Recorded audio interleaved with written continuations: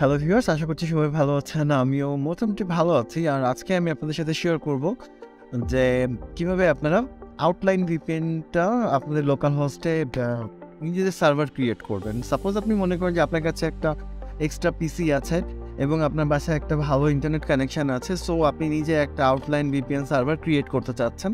সেই ক্ষেত্রে আপনারা কীভাবে একটা আউটলাইন ভিপিএন সার্ভার ক্রিয়েট করতে পারবেন? চাইলে আপনারা আউটলাইন ভিপিএন সার্ভার ক্রিয়েট করে বিজনেসও করতে পারেন, যদি আপনার কাছে একটা ভালো ইন্টারনেট কানেকশন থাকে। সো সেই ক্ষেত্রে আপনি যদি সেটা কীভাবে করবেন সেটাই আমি আপনাদের কাছে একটা থর ধারণা দেওয়ার চেষ্টা করব। আর যদি আপনাদের বুঝতে কারও সমস্যা হয়, সেক্ষেত্রে অবশ্যই আমাকে কমেন্টে জানালে আমি আপনাদেরকে সাপোর্ট দেওয়ার চেষ্টা করব। সো ফার্স্ট অফ অল আপনাদেরকে চলে আসতে হবে। এখানে আপনারা দেখতে পাচ্ছেন get outline dot O R G নিচে অবশ্যই আমি বড় করে লিখে দেওয়ার চেষ্টা করব। অথবা আপনারা গুগলে সার্চ করবেন আউটলাইন দেন আপনারা পেয়ে যাবেন। আমি আবারও বলছি, ভিডিওটা একটু বড় হতে পারে, কারণ হচ্ছে ইন ডিটেইল যেহেতু আমি করার চেষ্টা করব সো আপনারা একটু ধৈর্য সহকারে ভিডিওটা দেখলে ভালো করে বুঝতে পারবেন। ওকে সো আমি এখানে একটা ভার্চুয়াল কম্পিউটার ইউজ করব, যেটাতে আপনারা চাইলে সেই ক্ষেত্রে আপনাদের একটা এক্সট্রা পিসি ইউজ করতে হবে। আমার কাছে যেহেতু এক্সট্রা পিসি নেই, সেক্ষেত্রে আমি একটা ভার্চুয়াল কম্পিউটার ইউজ করব। আর এই ক্ষেত্রে আমি একটা উবান্টু লিনাক্স ইউজ করব। সো আপনারা এখানে দেখতে পাচ্ছেন আউটলাইন যে মেইন যে ওয়েবসাইটটা সেখানে রয়েছে আমি। সো এইখান থেকে যদি আমি আউটলাইনের মানে সার্ভারটা ইনস্টল করতে চাই, তাহলে আমাদেরকে প্রথমে যেটা করতে হবে আউটলাইন ম্যানেজারটা আমাদেরকে ইনস্টল করে নিতে হবে। আউটলাইন ম্যানেজার আপনার আপনার পিসিতে ইনস্টল করে নিতে হবে। সেই ক্ষেত্রে আমি চলে আসব আউটলাইন ম্যানেজারে এবং আউটলাইন ম্যানেজারে আসার পর আপনার এখান থেকে যে ধরনের আউটলাইন ম্যানেজার আপনার পিসিতে ইনস্টল করতে চাচ্ছেন, আপনার যদি উইন্ডোজ মেশিন হয়ে থাকে, তাহলে উইন্ডোজ আউটলাইন নেবেন ম্যানেজার নেবেন লিনাক্স হলে লিনাক্স ম্যাক হলে ম্যাক্স আমি যেহেতু উইন্ডোজের উপরে কাজ করছি এখন মানে আমার এই পিসিটা উইন্ডোজ তাই আমি উইন্ডোজটা ইনস্টল ডাউনলোড করতেছি।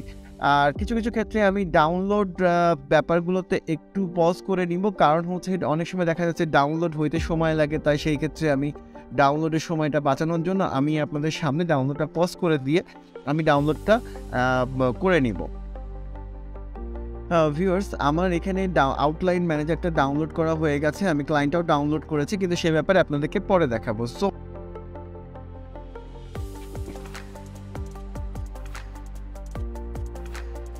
সো ভিউয়ার্স আমাদের উবান্টু ইনস্টলেশন শেষ এবং আমরা এখানে স্কিপ করে দিব। আমাদের জাস্ট নাও আমরা আমাদের উবান্টু ইনস্টলেশন শেষ হয়েছে। সো আমি এখানে নেক্সট নেক্সট করে ডান করে দিচ্ছি। ডান করে দেওয়ার পর আমাকে যেটা করতে হবে, আমাদের এখান থেকে হচ্ছে টার্মিনালে নি টার্মিনালে যেতে হবে। আপনি এখানে দেখতে পাচ্ছেন নিজের টার্মিনাল সো আমি টার্মিনাল ওপেন করে নিচ্ছি। টার্মিনাল ওপেন করে নেওয়ার পরে আমাদেরকে যেটা করতে হবে, এখানে লিখতে হবে sudo sudo minus I so এখন সুডো মাইনাস আই দেওয়ার পরে আমাদের এখানে আমাদের পাসওয়ার্ড রুট পাসওয়ার্ডটা দিতে হবে। আমি রুট পাসওয়ার্ডটা দিয়ে দিয়েছি এবং এখানে এরকম চলে আসছে। এরকম আসার পরে আমি খুব ভালো লিনাক্স পারি না। জাস্ট দেখে দেখে শিখছি এটা আপনাদের সাথে শেয়ার করতেছি। সো এইখানে যেটা করতে হবে, এখানে লিখতে হবে sudo sorry APT update APT up দিয়ে এপিটি আপডেট সো এখানে এপিটি আপডেট লিখে এন্টার করতে হবে। এন্টার করলে আপনাদের এখানে দেখাবে যে এপিটি মানে সিস্টেমটার যে লাস্ট আপডেটগুলো ছিল, সেই আপডেটগুলো হবে। সো আমি জাস্ট ওয়েট করব এবং একটু ফাস্ট ফরওয়ার্ড করে দিব। ভিউয়ার্স আপনারা এখানে দেখতে পাচ্ছেন যে আমাদের এখানে লিখছে যে এপিটির যে আপডেট ছিল, সেই আপডেটগুলো অলরেডি হয়ে গেছে। তো আপডেটগুলো যেহেতু হয়ে গেছে তো কথা না বাড়াই আমরা এখানে চলে আসি। আমরা এটাকে কপি নিব।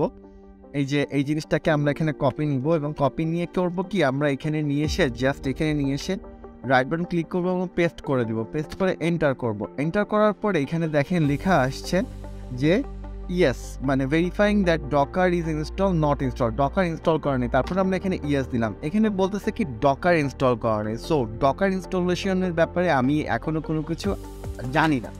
সো আমরা কি করব?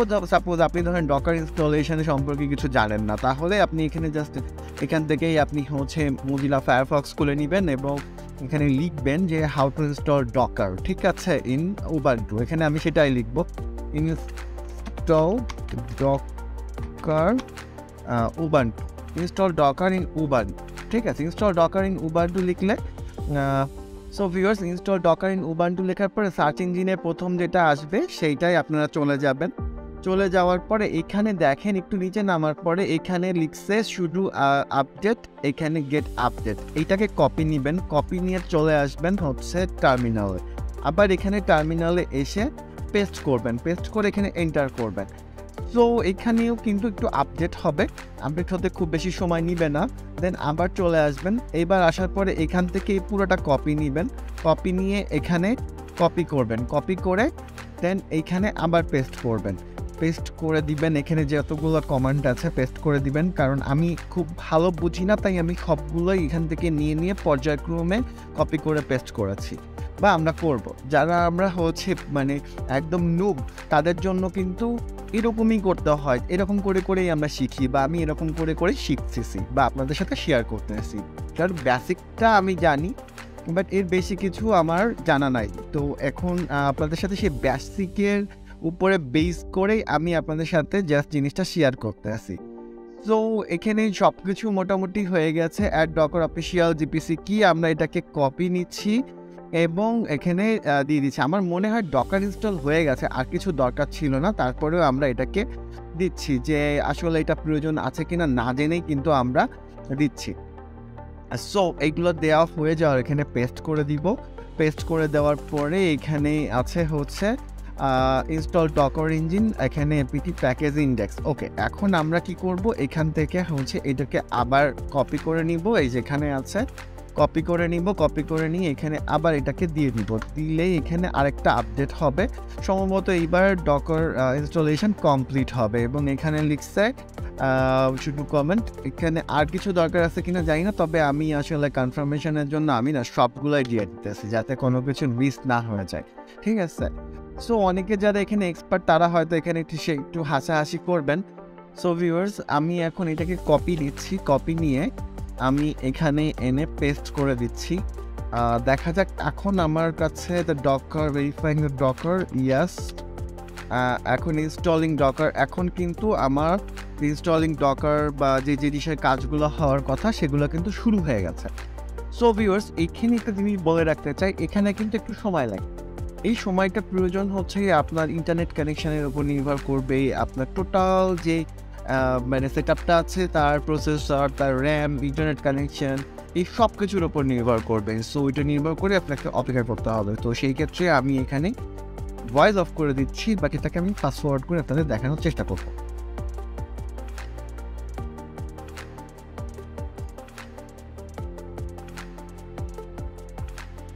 সো ভিউয়ার্স আপনারা দেখতে পাচ্ছেন যে আমাদের আউটলাইনটা ইনস্টল হয়ে গেছে বাট এখানে একটা এরর আছে কিন্তু যে চেকিং হোস্ট ফায়ারওয়াল ব্লকড। এখানে একটা এরর আছে। সো এই এররটা কি এই মুহূর্তে আমরা বুঝতে পারতেছি না, তবে এখানে আরও একটা জিনিস আছে, আপনারা দেখেন। এখানে লিখেছে management port TCP and access key port এই দুইটা পোর্ট হচ্ছে গিয়ে আমাদেরকে এনাবেল করতে হবে রাউটার থেকে। আমরা সেখানে যাচ্ছি পরে। তার আগে যে জিনিসটা, সেটা হচ্ছে আমাদেরকে পুরা এই যে, এই এই যে, এই জিনিসটা আমাদের কপি নিতে হবে। আমরা এখান থেকে কপি নিচ্ছি। কপি নেওয়ার পরে আমরা এই যে নিচে আমরা এইখানটাতে এসে আমাদেরকে পেস্ট করতে হবে। পেস্ট করে ডান দেওয়ার পরে আমরা চেক করব যে আমাদের ইনস্টলেশনটা সাকসেসফুল হয়েছে কিনা। দেখেন, এখানে কিন্তু ওরা একটা জিনিস বলেই দিচ্ছে যে আমাদের এখানে পোর্ট কনফিগারেশনটা ঠিক নাই, যে কারণে ওরা এটাকে দেখতে পাচ্ছে না সঠিকভাবে। এখানে দুইটা জিনিস আমি একটু বলে রাখতে চাই। সেটা হচ্ছে যে আমি টেস্ট করার জন্য যে আইএসপি কানেকশানটা ইউজ করছি, সেটা হচ্ছে অ্যাম্বারেটিভ কানেকশন এই কানে- এই কাজটা করতে গেলে অবশ্যই আপনাদেরকে একটা রিয়েল আইপি সহ কানেকশান লাগবে। রিয়েল আইপি মানে ক্যান ইউ সি মি দিলে যাতে আপনার রাউটারে সরাসরি ঢোকা যায়। সেটা কীভাবে? সেটা আমি আপনাদেরকে দেখাচ্ছি। সেই ক্ষেত্রে আমি আমার একটা আমি আমার একটা রিমোট কম্পিউটারে ঢুকতেছি। দেখেন, আমি যখন এখানে ঢুকতেছি, তখন এইখানে যে আমার যে আইপিটা দেখাচ্ছে, এই যে উপরে যে আইপিটা দেখাচ্ছে, এটা হচ্ছে রিয়েল আইপি রিয়েল আইপি থেকে আপনি যে কোনো জায়গা থেকে হিট করলে যাতে আপনার রাউটারটাতে ঢোকা যায়। সো ওই এখানে আমরা কি দেখেছি? এই জায়গাটাতে ফিরে আসব আবার, সেটা হচ্ছে যে এই পোর্ট দুইটা আমাদেরকে পোর্ট ফরওয়ার্ডিং করতে হবে, অবশ্যই। তো তার আগে কি করতে হবে? এই যেখানেও দেখা যাচ্ছে যে এই পোর্টে রয়েছে, এই পোর্টটা আমাদেরকে ফরওয়ার্ডিং করতে হবে। তো এই পোর্টটা ফরওয়ার্ডিং করার আগে যেটা করতে হবে, সেটা হচ্ছে আমাকে, আমাদেরকে সেই রাউটারে ঢুকতে হবে এবং পোর্ট ফরওয়ার্ডিংয়ে যে এই দুইটা পোর্ট ফরওয়ার্ড করতে হবে। এখানে দেখেন আবার লিখে দিয়েছে, এখানে এখানে সব জায়গাতে কিন্তু স্ট্রিক্টলি লিখে দেওয়া রয়েছে যে পোর্টস কানেক্টেড ইনকামিং পোর্টস এই পোর্টগুলো ফরওয়ার্ড করে দিতে হবে। সো আমি এখানে চলে আসছি রাউটারে আমি রাউটারে আসার পর এখানে চলে আসছি ফরওয়ার্ডিংয়ে এবং এখান থেকে যে এই ইয়েটা আছে ভার্চুয়াল সার্ভার ভার্চুয়াল সার্ভার থেকে সার্ভিস পোর্ট এই আইপি অ্যান্ড ইন্টারনাল পোর্ট এগুলোকে আমাকে হচ্ছে চেঞ্জ করে দিতে হবে। তার আগে আমাকে যেটা করতে হবে যে, আমাকে ডিসিপি থেকে দেখে নিতে হবে যে, আমার এইটা কোন আইপিতে আছে। এই যে, আমার এটা একশো সাতে আছে। তো সো আমি একশো সাত নাম্বার আইপিটা পোর্ট ফরওয়ার্ড করব। সো আমি এখানে চলে আসতেছি পোর্ট ফরওয়ার্ডিংয়ের জন্য। এখান থেকে চলে আসতেছি। এখানে সার্ভিস পোর্ট রয়েছে। আমি আবার দেখে নিই সার্ভিস পোর্ট রয়েছে চোদ্দ হাজার দুইশো বিরাশি। ওকে এখানে চোদ্দ হাজার দুইশো বিরাশি, চোদ্দ হাজার দুইশো বিরাশি। আর এখানে আইবি রয়েছে একশো বিরানব্বই, একশো আটষট্টি সরি শূন্য ডট একশো সাত সম্ভবত আরেকবার দেখে আসি আমি। ডিএসপি ক্লায়েন্ট হ্যাঁ একশো সাত। ওকে সো আমি পোর্ট আবার চলে যাচ্ছি ভার্চুয়াল সার্ভারে এইখান থেকে আমি আবার হচ্ছে চোদ্দ হাজার দুইশো বিরাশি।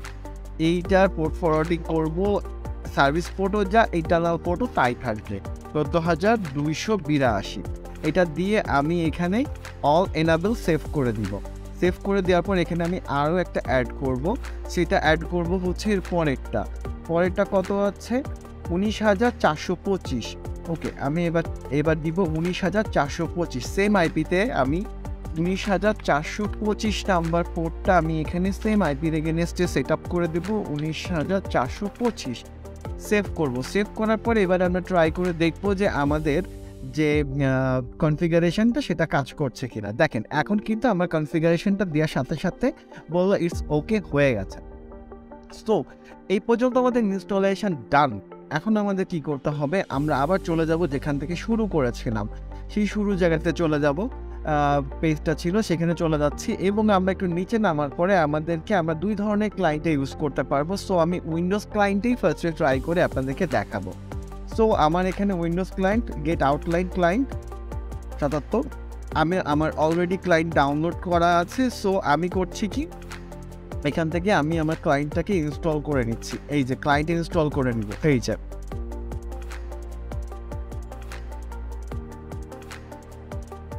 সো ভিউয়ার্স আপনারা দেখতে পাচ্ছেন যে এখানে আমাদের আউটলাইন ক্লায়েন্টটা ইনস্টল হয়ে গেছে।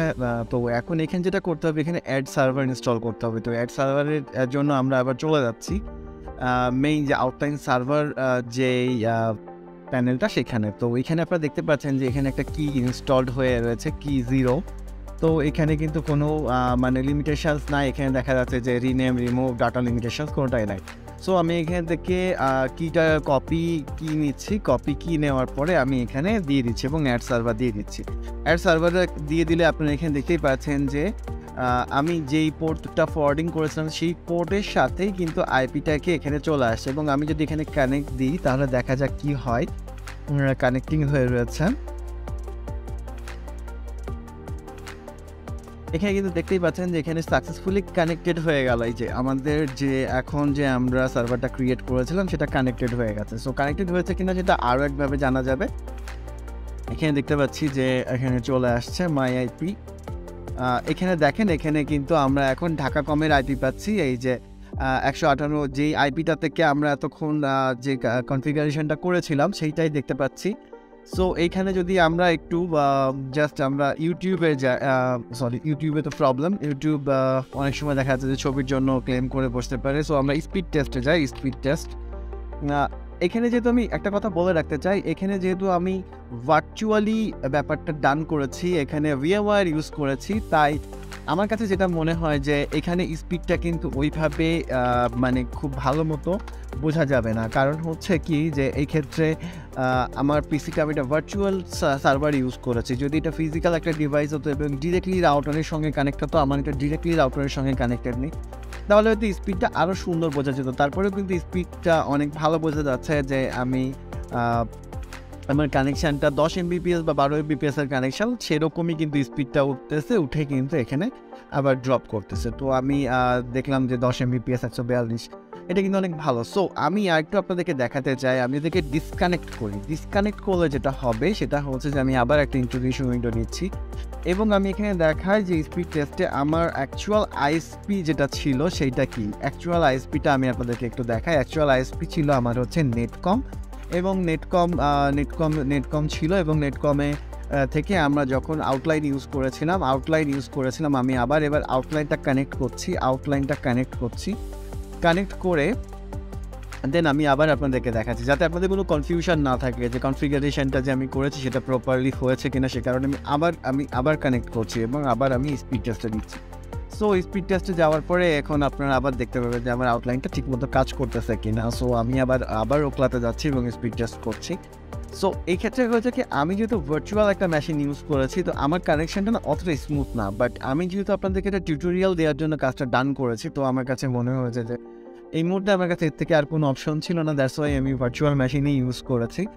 সো ভিউয়ার্স আশা করি আমি আপনাদেরকে একটা ধারণা দিতে পেরেছি যে আপনারা নিজেদের ভার্চুয়াল মেশিনে কীভাবে আপনারা মানে নিজেদের লোকাল হোস্টে কীভাবে আপনারা আউটলাইন সার্ভার একটা সেট করবেন, সেই ক্ষেত্রে কীভাবে নিজেরা আউটলাইন সেট ক্রিয়েট করে নিজেদের মধ্যে ব্যবহার করতে পারবেন। আর সেম কি যদি আপনি আবার এখানে একটা নতুন কি নিতে পারেন এবং সেই কি আপনি মোবাইলে ইউজ করতে পারেন। সেই কি আপনি আপনার ফ্রেন্ডসের মাধ্যমে শেয়ার করতে পারেন। সো আপনারা দেখতে পাচ্ছেন যে এখানে আমি যে ডাটা ইউজ করতেছি, সেখানে কিন্তু এখানে অলরেডি এখানে যে ডাটার লিমিটেশনস চলে আসতেছে এবং এখানে চাইলে আমরা এখানে এটা ডাটা লিমিট করতে পারব। সেট কাস্টম লিমিট এখানে জিবি মেগাবাইট এগুলো কিন্তু লিমিট করে দিতে পারব। মানে আপনি যদি কাউকে আউটলাইন সেল করতে চান, সেক্ষেত্রেও কিন্তু এখান থেকে পসিবল সেটা আউটলাইন সেল করা। তো viewers thank you very much have a good day tata stay tune